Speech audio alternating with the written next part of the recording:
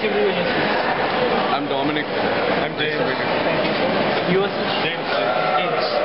Sir, can you just tell me something about the gym? Many people keep visiting this gym. It's a very well-known gym in Trichy. Yes, sir. Big people along keep coming. So we've been here for the past three and a half years. As the trainer. That's all. Okay, sir. So, uh, you generally, you know, what is the workout routine that you advise for people here? Depends on the people who come. Depends from person to person. You want to reduce weight, gain weight, bodybuilding, many things. Yes, sir.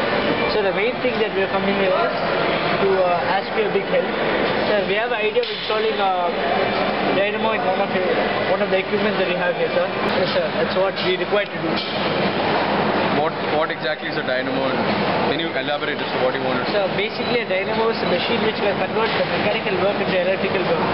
So basically suppose a guy is running on treadmill. Mechanical work will be converted into electrical energy and that will be stored in a battery inside the dynamo. Likewise for cycling. So if the guy cycles, he cycles when the wheel rotates, uh, the mechanical energy will get converted into electrical energy and it will get stored in the battery of the dynamo. So if you do that, you can uh, there are many advantages. So like you can use the electrical power later, and you can use a series Yeah. of batteries, so I know I understand you guys need something, but our instruments are pretty costly and you know they're very expensive. Like it's very, very, very sensitive to small disturbances also.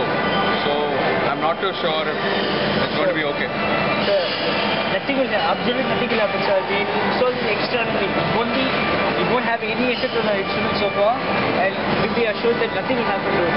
We guarantee that. We install it externally, and we put it to work. So that's all we require from you guys. Just uh, give it in writing. We'll keep it with ourselves, and you guys can carry on. No problem. Thank you, sir. Like that's all we wanted, sir. Thank you, sir. Thank you. Thank you very much.